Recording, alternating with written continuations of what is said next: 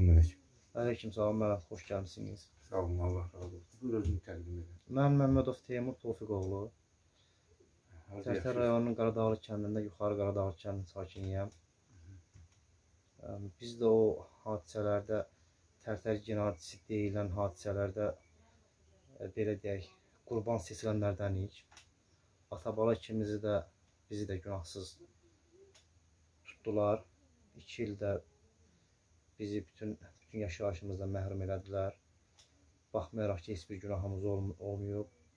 Əlimizin qabarı ilə, alın təri ilə qazanan, iş, işləyən adamlar olmuşuq.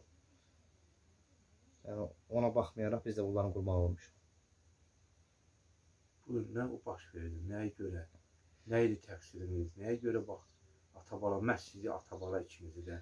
Müəllim, burada bu hadisələri, yəni orada bu türmə həyatı elə bir şeydir ki, orada ancaq iş olmur da, ancaq fikirləşməyə vaxt çox olur.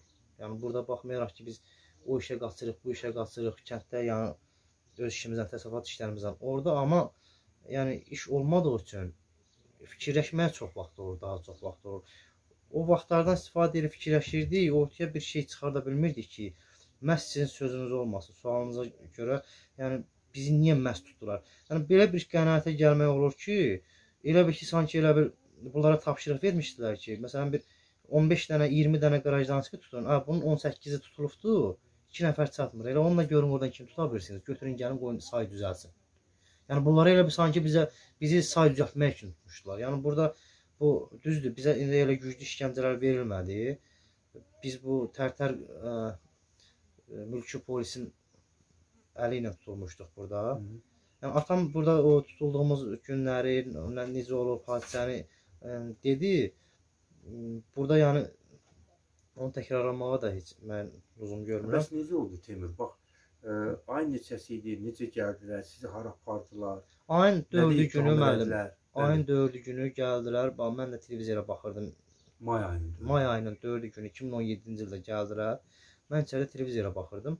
Gördüm qapı açıldı, əlində silahlar zad, maskalar zad. Mən də belə üzr istəyirəm, yəni belə uzanıb televizora baxırdım. Hı. Ha, mamam dedi ki, dur əynini geyin. Polislər zəddə gəl. Mən durdum elə biz bilmirdik nə idi, nə deyil. Hı. Durduq elə şey çöldə, bunlar başladılar, gəzdilər, bütün hər yeri gəzdilər, məhləni, nə bilim evi, eşiyi, bütün nə qapıda bir it damı var isə oranı da gəzdilər, nə bilim bütün nə varsa bizə aid nə varsa hər yeri gəzdilər. Nə axtar? Gəzdilər, biz də soruşanda ki, kişi nə axtarırız? Mən elə bilirdim ki, bunlar bunlar bunlara məlumat verirlər ki, biz nə işə zad çəkənik. Mən elə başa düşdüm də, fikirləşdim. Hə, bunlar bəlkə də nə işə zad axtarırlar. Mən yəni bu belə başa düşmüşdüm bunu. Nəsə gəldi, axırda dedi ki, ay müəllim, bu hərbi prokurorun prokurorluqdan gəlmişlər ayın 4-cü günü bizə axtarış aparanda. Dedim müəllim, onun müstəntiq var idi, işə o aparmalı idi hesabda. Dedim ki, müəllim, siz nə axtarırsınız? Bu nədir? Biz nə bilək görək siz nə axtarırsınız? Biz deyin, deyin biz bilək. Dedi ki, heç nə, qoy aparaq orada, ora aparanda sizə deyəcəyik. Dedi, hə, yaxşı. Kağız yazdı ki, Məmmədov Teymur Məmmədov Tofiq Ümbətoğlunun həyətyanı sahəsinə baxış keçirilən zaman, eləcə də yaşayış evinə, qapıda həyətdə olan traktorun içinə, nə bilim, ə, mal tövləsinə, ağacların dibinə, nə bilim də nə, nə haran axtarmışdılarsa. Baxış keçirilən zaman heç nə aşkar edilmədi. Bizdə də mənim də prostoy telefon var idi. O vaxt prostoy telefon işlədirdim. Prostoy Nokia, Nokia nə bilim markası nə idi? Bir bir ədəd mobil telefon və mənim bir də notebookum var idi. Bir ədəd də not, notebook ə, maddi sübut kimi götürülmüşdü. Buna biz oxuduq, qol çəkdik burada. Bizi bizə bunlarla biz də getdikcə bu hərbi prokuror prokuror var. Hı. Mən indi indi bilirəm, ora hərbi prokurorluqdur, heç bilmirəm mən hərbi prokurorluqdur. Elə orada nə bilim nəsə yazdılar, nəsə pozurdular, bilmirəm nə ayırdılar. Biz də elə həyətdə fırlanırdıq. Sanki heç elə bir ki biz cinayətkar deyilik. Bunlar bilmirəm bizi bura nəyə gətirmişdilər. Biz də bir fırlanırıq aşağı yuxarı. Bir 3-4 saatdan, 4 saatdan sonra dedilər ki, gəlin. Hə, gəldik.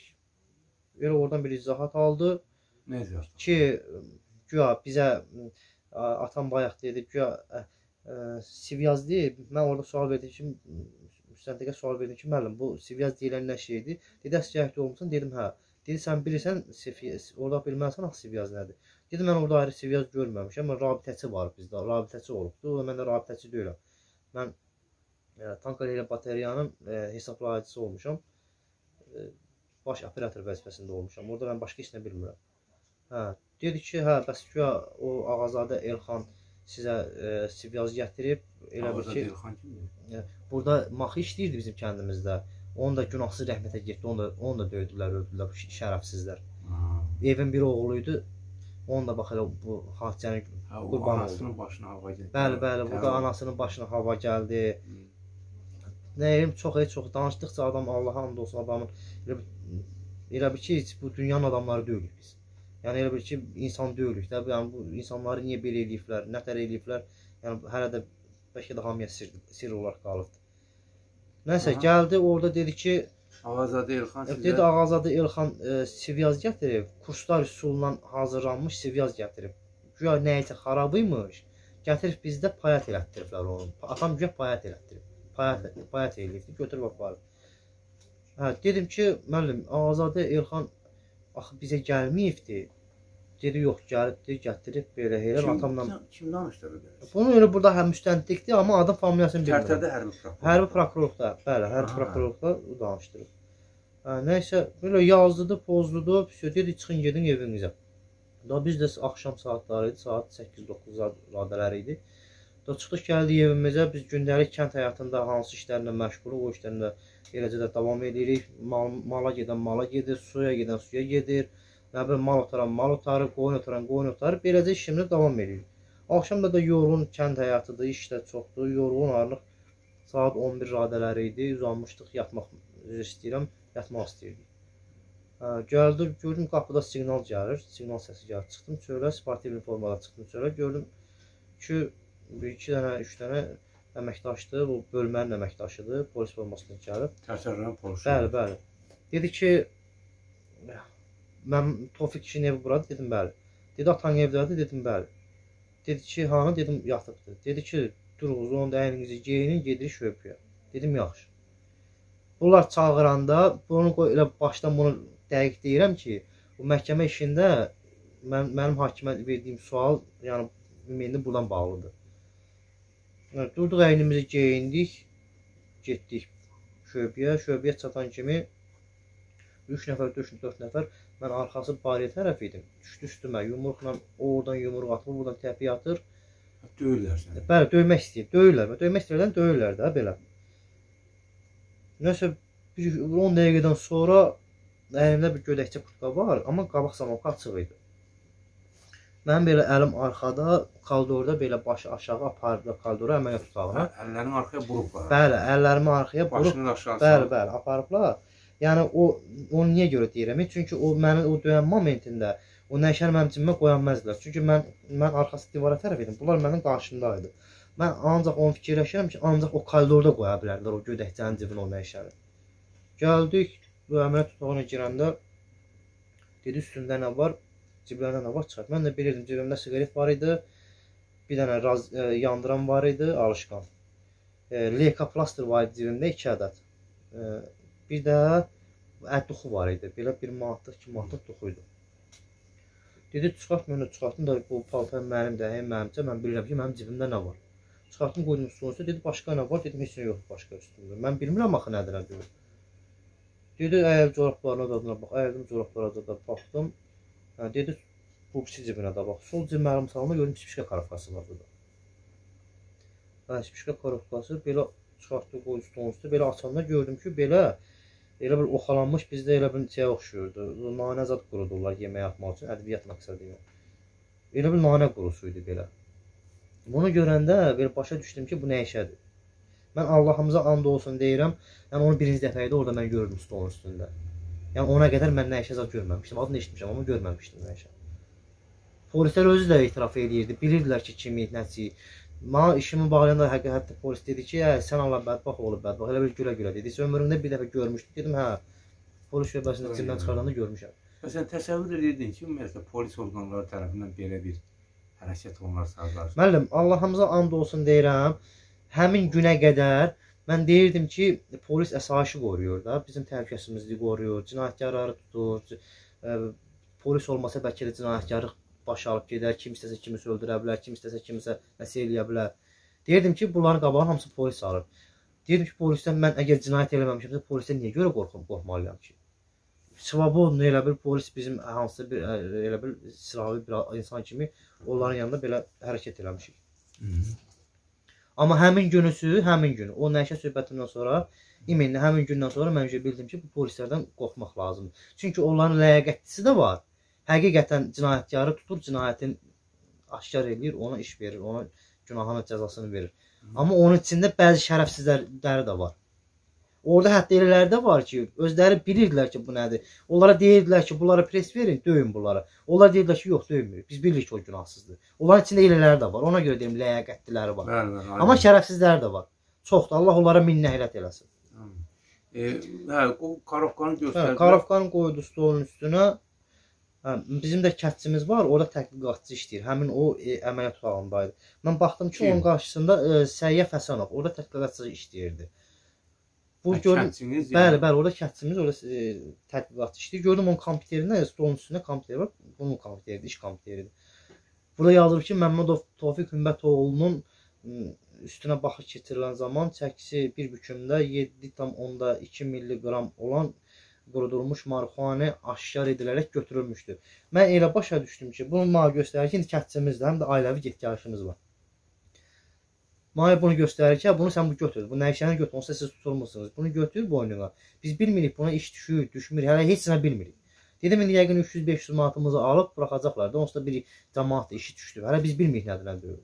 Hə, mən də Həm də götürdüm. etibar elədi, inandın da. Bəli, mən onu o məqsədlə Səyyah. inandım ki, Səyyahdır, dedim ki, yəni bu mənim axı bizim ailəvi dostumuzdur. Bu bizim nə qədər olsa pisliyimizi bir istəməz axı. Nə olsun ki, biz- polis orqanı axı bizi tanıyır.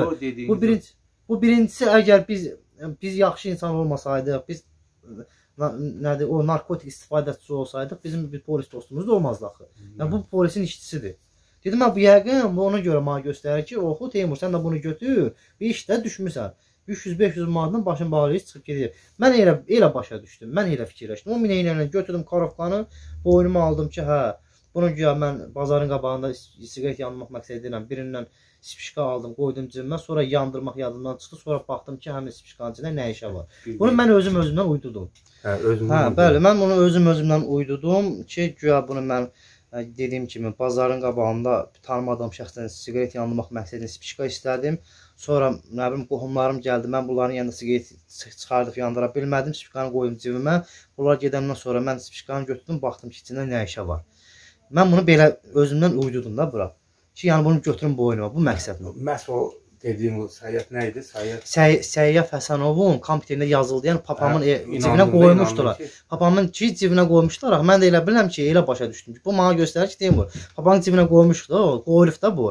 Sən də sən də qoy bunu bu götür boynuna. Yəni 300-500 manatdan hansıda bir hə, iş düşmüsən, hə. O sən də bu cür danışdın. Bəli, mən də bu cür bunu özümdən uydurdum ki, e, bazarın qabağında belə-belə nəsə. Onu götürdüm. Sonra da ikinci günündə ikinci günü amma ikinci gün mən hardasa 2 saata yaxın mənə işgəncə verdilər. Belə yüngül işgəncə, təbii yumruqla. Nə Elə deyim işgəncədə görün nə deyim. Bəli. Gəldi birini, iki, birinci gün elə bir yumruq təpiki ilə vurmuşdular məni. Dumikazov söhbəti yox idi orada. Amma ikinci gün gəldilər, gördüm o birisi deyir ki, bir-birinə deyir ki, bu idmançı uşaqdır. Buna yumruq təpik təsir eləyəsi deyil. Kənd uşağıdır, bu bərkdir, bunun canı bərkdir. Bunu ancaq şpaqat şpaqatda qoymaq lazımdır. Məni düz 2 saata yaxın şpaqatda saxladılar.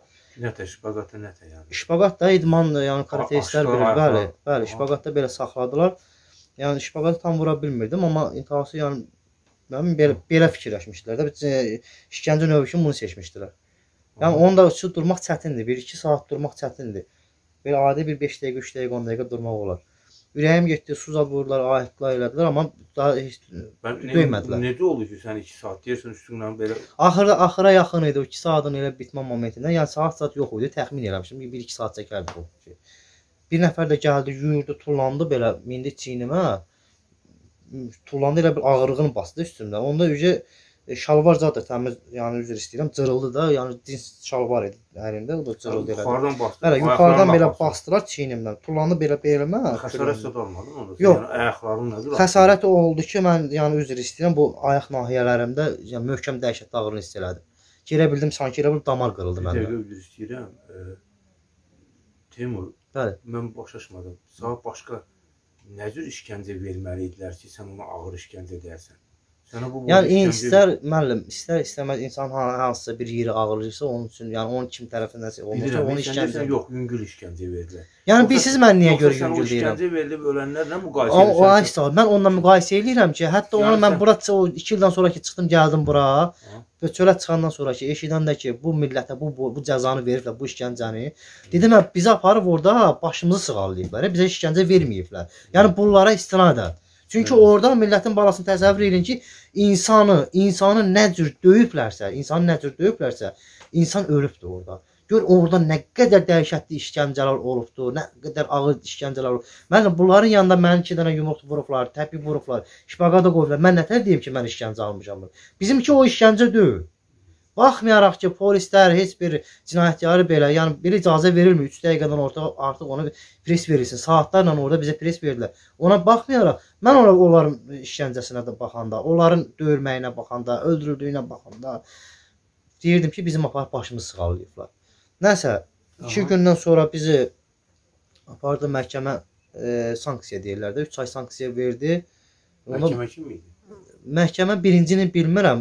Yəqin ki, Nadir müəllim, o- Nadir müəllim. o, Amma ikinci çünki o yadımda deyildi ki. Hə. Amma ikinci məhkəməmizdə bizim işimiz əsas o e, ibtidai istintaqı e, şey müstəntiq aparır, əsas istintaqı məhkəmə aparır. İstintaqa apara- kim apardı? İstintaqa aparan Nadir müəllim idi. İbtidai istintaqı yox. Yox, ibtidai istintaqı aparan orada tərtərdə Tural müəllim idi.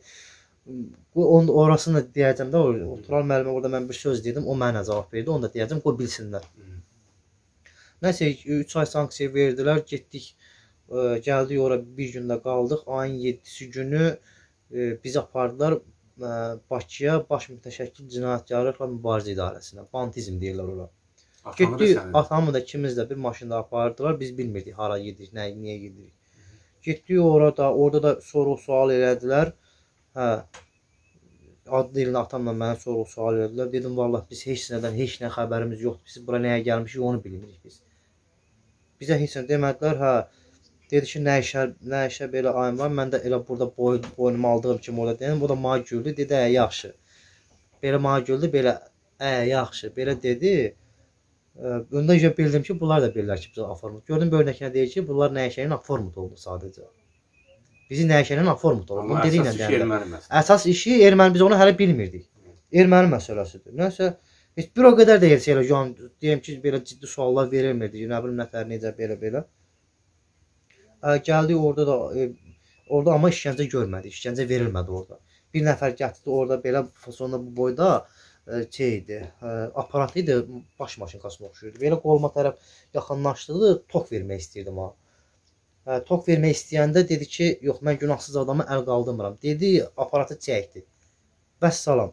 Amma dedi ki, bu sözdə dedi ki, bax o sözdə dedi. Dedi əgər günahınız sübut olunsa, əgər günahınız olsa bu işlərdə başınızı kəsəcəm. Dedim mən razı. Mən özümdən əminəm axı. Mən evim, evimdən əminəm axı. Mən bu işlərdə heç, heç mənim bir miskal günahım yoxdur. Dedim hə razı. Nəysə o üçün ayın 20-si gününə qədər qaldıq orada bantizmdə. 20-si günü gətirdilər oraya. Atamla görüşdüm. Atam da orada neçə dəfələrlə ürəyi tutub orada 4 dənə damarında tromb var idi. Ürəyi tutub təzyiqli adam idi. Bir dəfə də mikroinfarkt keçirmiş insan idi. Hə, həkimlər zad da gətirmişdi. Orada atamla görüşdük ayın 20-si günü. Hə, Atanla orada Atamla görüşdün. orada görüşdük. Orada e, e, KPZ-in o mənə elə gəlir ki, o e, istintaqa aparan orada tədqiqatçı idi, kim idisə bilmirəm, mayor idi. O dedi ki, şükür eləyin ki, sizin bu hadisələrdə günahınız yoxdur. Siz gedirsiniz Kürdaxanaya, Kürdaxanadan da gedəsiniz Tərtərə, Gəncəyə, Gəncədən də e, yerli məhkəmə işinizə baxıb oradan da buraxacaqlar sizi. Hı. Amma bu sözü orada dedi ki, əgər siz ayın-bayın danışsanız, yəni bizim haqqımızda nəsə danışsanız, sizin işiniz bizim əlimizdə. Hansı tərəfə istəsəz o tərəfə də göndərə bilərik. Yəni bu sözü dedi. Nəsə də biz də çıxdıq, gəldik. Bir orada 4 ay qaldıq. Məni oradan ə, zığ deyirlər, orada zığ qəsəbəsi. Orada elə bir ki, bu nəşə çəkənlərin qanun analiz getməlidir. Sübut üçün orada qanundan analiz getməlidir. Ora getdim, etap getdim, orada analiz, həkimlər analiz götürəndə dedim ki, həkimlərə dedim ki, hamısı düzülmüşdü belə. Dedim sizə at ver, verirəm Allaha, mən yəni spirtli içki belə içmirəm. Nəinki nə işə çəkirəm. Mən dənə siqaret çəkirəm, üzr istəyirəm sizdən. Çəkdiyim bir dənə siqaretdir. Mənim qanımda nədirsə, onu yaz. Bu qan da mənimdir, can da mənimdir. Bilirəm ki, buna bir dənə siqaret dükanda satılan siqaretdən başqa heç nə gedə bilməz. Sən ancaq o siqaretin tərkibini aşkarlaya bilərsən mənim qanımdan. Başqa heç nə. 10 ildir, 2013-cü, 14-cü ildə mən spirtli içki ümumiyyətlə içən adam deyiləm. Nəysə bunlar dedim ki, öz vicdanınıza sizə at verirəm Allaha. Yəni qanım nədirsə onu yazın, başqa heç nə yazmayın. Nəysə çıxdıq gəldik oradan da 4 aydan sonra bantizmin müstəntiqi Paşayev Moşu bizim işimizi mənim işimi bağlayanda baxdım ki, ittiham haqqında yazıb ki, orada Məmmədov Teymur Tofiqoğlunun qan qanunundan e, marixuanenin nə bilim nəşənin nəyisə tərkibi çıxıbdı. Dedim ay Moşu müəllim, axı bu qan mənimdir. Bu qan mənimsə məndən alınıbsa axı bu qan təmizdir. Nətər siz ora yazmısınız ki, bunun qanundan şey. Mənə özü qatil dedi ki, öz dili ilə vəkil də var idi. Belə Paykovoy vəkil deyək. Doğru, olan öz gətirdiyi vəkil idi. Yanında Paykovoy vəkil dedi ki, yanında vəkilin yanında mənə dedi ki, yoxu hə eləməyə nə var ki? Yəni özü mənim mənim müstəntiqim özü Hə. öz dili ilə bax mənim Paykovoy və özü gətirdiyi vəkilimin yanında dedi ki, Aha. dedi yoxu hə eləməyə nə var ki? Dedim Moşu müəllim, bax mənim Nə idi qanun o vəkilin adı? Yadınızda? Vəkilin adı yadımdan deyil. Çünki bilsən, bilirsiniz necə bizim yəni həmin vaxtlara qədər o 2 il o həmin müddətdə belə deyək də şoku yaşadıq. Ondan çıxandan bir, bir il sonra da o şoku yaşadıq. Çünki biz bilmirdik niyə bizi tutdular. Hə. Niyə bu hadisələr törəndi? Bu cəmaətin başına niyə bu bəlanı gətirdilər? Hə, Yox, həll eləməyinə var ki. Bəli, bunu mənim müstəntiqim özü öz dili ilə dedi, vəkilimin yanında dedi. Həmin o kamerada bəlkə də o mənim o görüş kamerasında müstəntiqlərin özlərinin o e, təcridxanalarında görüş kameraları var. Həmin kameralarda bəlkə də kamera varsaydı, yəni o sübut orada tapmaq olardı ki, Paşayev Moşu mənə dedi ki, e, Paşayev Moşu bax Nadir oğlu idi, nə idi? Familiyası yadımdan çıxdı. Belə atasının adı. Aha, Amma adı familiyası Paşayev Moşu idi. Yanına gətirdiyi Paykovoy vəkilin yanında mənə öz dili ilə dedi ki, yoxu hə eləməyə nə var ki? Aynen. Dedim ki, bəs Moşu müəllim, yəni siz niyə bunu siz bilirsiniz axı biz günahsızıq. Niyə biz işi, işimizi belə göndərsiniz Suroka? Qayıtdı ki, bəs onda mən bəs mən nə edeyim yaxşı? Məni fikirləşmirsən? Mən onda baxdım ki, bu öz işinin xatirəsi üçün buna verilən tapşırıq var axı ki, sən bunu belə eləməlisən. Bu güya o Moşu müəllim məndən nə düşmənçiliyi var ki, ona söyməmişəm, ona üzr istəyirəm, ona sataşmamışam və yaxud da ki, o bizi ümumiyyətlə o Bakıda mən tərtədə biz harda yaşayır ki? Bunun ümumiyyətlə bizdən düşmənçiliyi, düşmənçiliyi yoxdur. Buna tapşırıq konkret verilib ki, sən bunu bundan bağla getsin, qutar qutardı, getdi, aformut olunub. Mən bunu buraxa bilmirəm, bax sən 6 ay nətər saxlaya bilərsən dustağı, heç bir günah olmayıbsa. Bu da Azərbaycanda elə bir yoxdur da, elə bir şey yoxdur. Tə, ə, bəraət deyirlər ona. ə, Xitam verilməlidir. Dedim, Moşu müəllim, bizim işimizə siz xitam verməlisiniz. Dedi ki, bəs sən mənim işi, sənətimi, işimi fikirləşmirsən. Mən neçə ildə oxumuşam, işləyirəm, belə elə. Nəsə elə bir söhbət orada getdi, dedim siz Allaha tapşırıram. Çıxdıq gəldik, bizə dedilər gedirsiniz Gəncəyə, etap gedirsiniz. Gəncədən də yerli məhkəmə işinizə baxacaqdır. Sizi məhkəmədə açıb buraxacaqlar. Bax bu sözü bizə belə dedilər. Da bizə də sevindik də dedik ki, da 6 aydan sonra da cəhənnəm də yatmışıq, çıxırıq. Gəldik orada da məhkəmədə razılaşmışdı bizi buraxmağa. Məhkəmə özü beyqəfil dedi ki, yox, buraxa bilmirik. Biz bunlara konkret tapşırıq gəlir ki, hamısına 2 il cəza verilməlidir. Burada mənim birinci işimi aparan müstəntiq var idi. Tural müəllimi idi. Tural deyirdilər adına. Tərtər müstəntiq familiyasını bilmirəm. O yəni oradan işçisidir. Prokurorun bəlkə də işçisidir, bilmirəm. İbtidai istintaqa aparan müstəntiqdir. Dedim ki, dedi ki, ma dedi ki, nətər nətərsə mən də e, məhkəmənin kamerasındaydım. Gözləmə kamerasında. Dedi ki, nətərsən? Dedim ki, e, Tural müəllim nətər olacaq? Məni yüklədin, göndərsən, Suraka göndərsən. Mənə öz dili ilə dedi ki, məhkəmə ot- da otağında deyildi, o sa- sa- saxlanma kameranın qarşısındaydı. Dedi ki, öz dili ilə dedi ki, sən sevin ki, səni ağır cinayətlə gö şey, göndərməlidir Suraka. Sən bununla hələ sevin, sən sevinməlisən buna. Allahımıza and olsun, bax dediyi sözüdür. Nəysə mən məhkəməmdə oldu, 2 il e, məhkəmə iş kəsdi. Orada bizim bizi tanıyan o cəmaatımız da gəlmişlər, bizim qohum, əqrəbə, nə bilim qonşular, mənim məhkəməmə gələnlər. Hamı qalxdı ayağa dedi ki, möhtərəm hakim, bunlar günahsızdır. Bunlara niyə bu iki il iş verdin? O öz dili ilə dedi ki, məhkəmə zalında dedi birbaşa. Öz dili ilə dedi ki, ay anam, ay bacım, biz də bilirik günah günahsızdır. Hakim deyil. Hakim öz dili ilə deyir, biz də bilirik günahsızdır. Bəli, o nadir ha hakim o indi Tərtərli məhkəməsində. Bəli, bəli, yerli məhkəmədə indi bilmirəm. O məhkəmə zallarında kamera yəqin ki olmamış olmaz. O kamerada var o dediyi sözlər. Bəlkə də indi söndürüb deyə bilmirəm. Yəni fakt bu cəmaatımızın içində dediyi söz oldu ki, ay anam, ay bacım, özü də ayağa durdu dedi. Biz də bilirik günahsızdır. Amma bizə tapşırıq veriblər. Biz tapşırıq icra edirik. Baxmayaraq ki, hakimin çox böyük bir səlahiyyəti var əlində. Çox böyük səlahiyyəti var. İstənilən məmuru da belə hakim cəzalandıra bilər, cəza hökm kəsə bilər. Amma o bax o səlahiyyətlərə baxmayaraq o hakim dedi ki, bizə tapşırıq verin. Tapşırıq əsnasında olan bir iş idi. 2 il iş verdilər, getdik biz də ata-bala Gəncədə yatdıq. 2 il günə-gün yatdıq, çıxdıq. Orada da neçə dəfə məhkəmələrə o bizim orada təcridxanada oranın öz polisləri e, sənəd hazırlayırlar ki, dustağın haqqında. Bu dustaq həqiqətən də, yəni burada normal oxbar özünü, yəni heç bir yəni çepesi olmayıb belə deyək də. Qeyri-qanuni iş görməyib burada. Bu e, bunu elə ki, azad eləmək üçün də vaxtından əvvəl orada dastroşmi deyirlər, e, komendapura deyirlər. Bizim məhkəmələrə biz biz də orada prokurorla məhkəmə bizim işimizə baxmadı. Baxma. Biz 15-16 gün qalmışdı bizim vaxtımıza. Elə bir şans yarandı. O da mənim qəfildən ağlıma gəldi ki, qoy mən bunu eləyim. Dedim ki, möhtərəm hakim, mən 15 günüm qalıb. 2 ildir yatmışam. Mən 15 gün mənim əlimdə elə 1 saatdır. Elə 1 saatda yatmaq. Mən bura evə tez çıxmaq üçün gəlməmişəm sizin yanınıza. Sadəcə olaraq bura gəlmişəm ki, sabahsı gün bu işlərin üstü açılanda sizin sözünüz olmasın ki, siz nə vaxt məhkəməyə müraciət elədiniz, biz sizi buraxmadıq. Biz gəlmişik ki, bura. Sən mənim işimə baxasan və bura buraxmayasan. Mənim əlimdə o sənəd ittiham haqqı əlimdədir ki, mən niyə buraxmadın? Sən sən Hansı hakimə deyirsən? orada Gəncənin hakimi idi. Elə bir orada yatdığımız dövrdə Hə, orada orada elə bir o verilən cəzanın müəyyən müddətləri var ki, onlar gəlib çatdıqca dustağın ora gəl o vaxta Bildim, qədər orada elədiyi hərəkətlərə uyğun bəli, vaxtından əvvəl dasroşnu və ya 15 komendantura gün qalmış siz müraciət elədik. 15 gün qalmış çıxdım məhkəməyə, eləmə. Təmə hakim təmin eləmədi. Dedim möhtərəm hakim. Dedi sözün nədir? Dedim möhtərəm hakim. Mən bura gəlməmişəm ki, mənim vəsaitimi e, təmin edəsiniz. Mən gəlmişəm ki, bura sabahsı gün mənim əlimdə o o, o hökm e, sübut kimi qalsın ki, mən sizə müraciət edirəm, amma ona baxmayaraq məni buraxmadınız. Hətta e, həbsxananın, təcridxananın orada o işləri aparan rəisləri var idi. O özü yazır ki, bu dustaq burada tə, e, nə deyirlər ona? Nümunəvi kimi. Nümunəvi dustaqdır da belə e, Yəni əslində buraxmalıdılar da. Bəli, bəli də, yəni- birinci dəfə idi məhkum oldu. Bəli, əlbəttə ki, birinci dəfə məhkəmə. Sizin e, e, bu kəndinizdə bax bu yuxarı Qaradağlı dediyiniz kəndinizdə neçə nəfər mülki şəxs sənin kimi ya atan kimi aparır? Valla 2 nəfər biz idik mülki şəxslərdən. Başqa 2 nəfər də var idi, amma qalan hamısı o kəndimizin e, maxı deyək də müddətdən artıq xidmət eləmiş əskərlərimiz var idi. Bax, onlar da tutulmuşdu çoxsu. Onlardan Allah qən-qən rəhmət eləsin. 2 nəfərində günahsız yerə döydülər, öldürdülər. Yenə deyirəm, vəhşicəsinə onları döydülər, öldürdülər. Hansı ki o biri də sizə deyirlər ki, Siviyat. Bəli, bəli, biri də o həmin ağazadə Elxan idi. ki, Elxan güya bu barədə ifadə vermişdi ki, mən Güya, güya bunlar özlərindən deyirlər. Mən orada bir həftə ərzində o çiftə tutulanda deyirdim ki, hə, biz bu Elxangillə bizim nə əlaqəmiz var ki, düşmənçiliyimiz yox, biz kənddə heç kimlə dalaşan adam nə deyilik. dedilər? Dedilər Elxan belə ifadə verir.